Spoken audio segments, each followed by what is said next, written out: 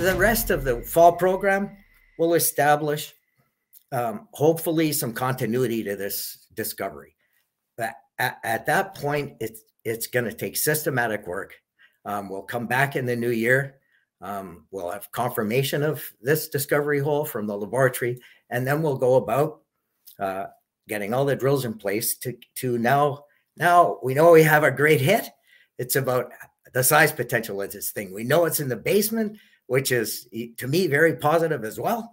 Uh, there you go. You know, like to get to this point, um, uh, that's the significance of this thing. It really stands to be uh, a zone, clearly a mineralized zone. There's high grade uranium there. Um, the question now is how big is it? You know, and we're going to take the steps to establish that. That takes drilling, and you and you know, usually the way that's done is step out holes. Each time, uh, if, if mineralization is hit, then we'll continue to step out something like 15 meter step outs. And then going up dip and down dip on the same section line where we have our intersection, that is about trying to see if the mineralization continues up dip towards the unconformity or down dip uh, and in which direction it gets stronger. That's what this is about. You know, the, what this discovery is, is, is being able to, for Dev to have been able to get money in the uh, finance in the downtimes and keep Fission has 16 properties to keep those in good standing.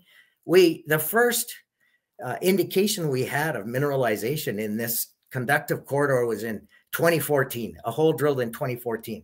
We went back and drilled in 2019. Um, you know, we've continued understanding that all the right signs were there, and now we've uh, tagged into high grade uranium mineralization in a in a in a structural zone and you know, it's it's a very very exciting times. This is a hugely significant uh, discovery hole, uh, and and yeah, it's it's it takes everybody to make a discovery like that. For Dev to have been able to, um, you know, do the deals and raise the money from people like Red Cloud to be able to have a you know a twelve point three million dollar exploration budget this year the team was ecstatic. We under, you know, that that opportunity. Wow, we get to go and explore on properties we've held for a long time, many many years, uh, and it's about dedic. So it's it's you know the ability to finance. It's the marketing team. It's a dedicated team, really, of loyal and dedicated geoscientists.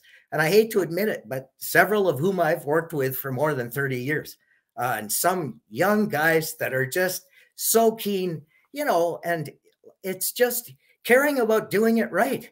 Uh, an integrated team, marketing, financing, you know, and the technical thing. And now let's just hope this thing grows into a, you know, the next deposit. It really stands to.